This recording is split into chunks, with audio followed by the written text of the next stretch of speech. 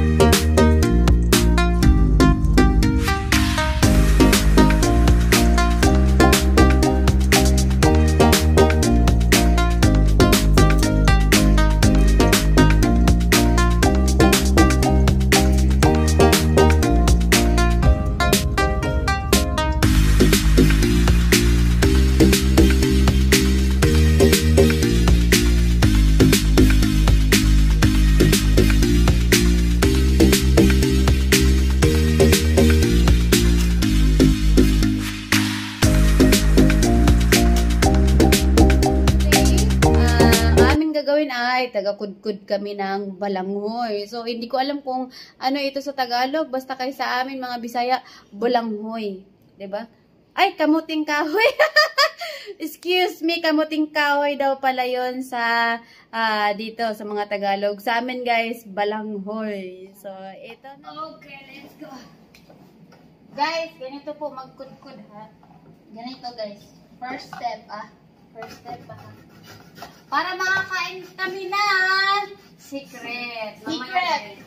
Tatapusin muna namin to. So, siguro mga isang oras pa to. Good, good is life, guys. Ba't parang ang lit niya sa'yo? Kagaya ko. Aray! Aray! Naku! guys, nagkukudkud kami. Walang laway ko ha. Wala. Eh, mabilis lang pala ito makudkod. Hindi na ito abutin 1 hour. Hindi daw abutin ng 1 hour. 2 hours lang. mga one day. Uy! Matigas Nakaka- sa akin. Ay, magaganito pala mabilis. Parang masarap ba nito eh? No? Hindi po kasi maliit ito sa akin eh. Tignan mo.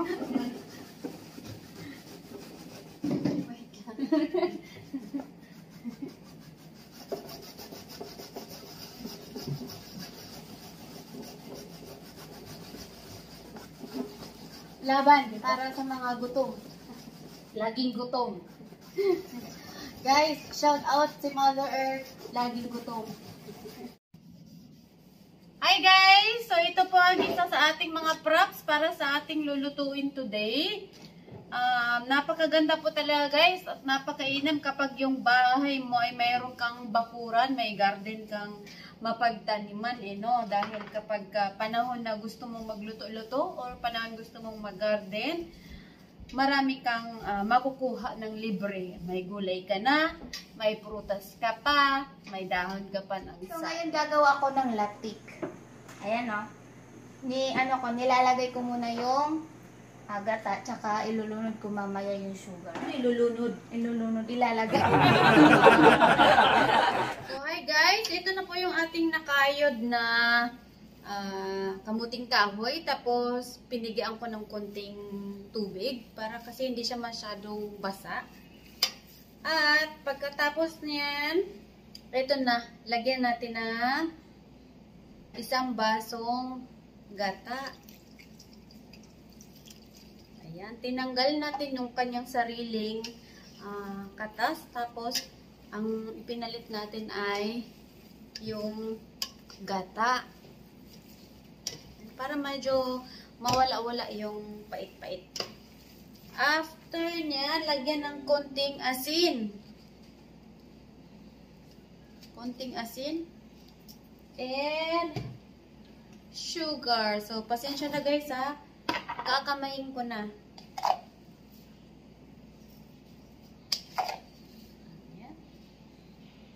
Hindi na natin masyadong damihan ng asukal dahil meron pa tayong latik. Okay. And then, alukay. Ito dito naman tayo guys sa ating latik. Lagyan din natin siya ng konting asin. Konting asin at konting kinayod na balanghoy. You know, kasi gusto kong palaputin siya. So, ilagay na natin.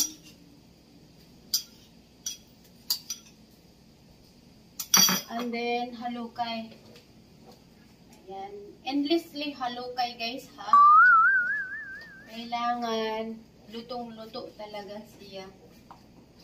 My secret ingredients ay Nutella. Lagyan natin ng Nutella, guys. Kung wala naman kayong Nutella, pwede rin kokwa. Ayan, kokwa. Pwede rin kokwa. So, ito yung aking secret ingredients. Okay guys, ito na, babalutin na natin ang ating suman. So, sa mga naghula kanina, alam niyo na guys, gagawin namin suman plus may latik. Ayan ang ating latik ay latik with Nutella. Ayan, so, paki-remember lang po, latik with Nutella. So, sa mga gusto guys, pwede niyo po itong i-try sa inyong bahay at para malaman nyo kung ano po ang lasa. Okay? So, ito po, um, homemade with Mother Earth. Mas maganda po talaga guys, yung uh, sariling homemade natin, ano? Kasi, syempre, alam natin na malinis at alam natin kung paano ginawa. Most of all, syempre, gusto natin yung lasa kasi syempre tayo yung nagtimpla. Kaya, ganito talaga ang buhay, no? Parang ano lang to eh. Parang panliligaw. So, dapat kapag nanliligaw, dahan-dahan talaga, you know? Dahan-dahan with pasensya at effort. Siyempre, kung walang effort, wala rin yun. So, yan na mga advice ko sa mga mga poging mga kalalakihan dyan. Hindi lang sa kapogi kayo, dapat may effort din kayo eh, no? At hindi rin natin kailangan rush. Kailangan mayroon talagang handle with care. Ha? so, guys, ganito lang po ulit ang paggawa. Like that. Depende po sa inyo kung gusto nyo pong maraming palaman. Oo, kasi may mga tao kasing gustong mas matamis. Mayroon ding mga taong hindi masyado matamis. Parang ganito lang yan, guys. Eh, no? So, ulit-ulitin and repeat and then balot na. So, habang nagluluto tayo, shout out ulit kay Nicel D and etc. Ayan, si Nicel D and etc. ay isa rin siyang magaling na mananahe. Ang siyang uh, magaling manahe. Pati tuloy yung kanyang pagluluto, magaling din siya magluluto. Lahat si na. D and etc. ay nasa ibang bansa, guys. So, we salute all the OFW, every country out there. Ayan. So, ingat po kayo dyan palagi at sana manood kayo sa aming suman. Ayan. So, ayan na si Miss Mars, oh. Gagaya na siya kasi sooner or later magiging uh, magiging asawa din yan. So, kailangan Sooners. marunong magluto, eh, no? Sooners. Kasi anhin mo rin yung puro pakyut lang, eh, no? Tapos sunog yung luto. Ay, Shout out dyan. familiar. Shout out, guys, sa mga sunog magluto. Oo, kasi hindi lang po tayo puro ganda. Kasi kailangan din nating ah, matuto sa kusina. Dahil hindi lang po asawa ang ating ah, alagaan, kundi pati rin ang ating mga anak. Maswerte kayo kung ah, mababait yung mga biyanan nyo. Eh, mamaya pag masungit, lagot kayo. so, ito ulit, ano? Sa mga suman lang naman to guys, pero kung saan saan napunta yung ating usapan. Oo nga. Oo nga, napunta palagi kay Miss Marce. Wala, ang haba sa akin. Hala, alam mo na. Gusto na ni Miss Mars ng mahaba. Ay, may mahaba sa iyo. Dahon lang yan. Eh. Dahon lang yan ha. Ano lang hmm. eh. Hmm. Lami! Hmm. Hmm. Mainit yan sa'yo. Hmm. hmm. Guys, to be honest talaga.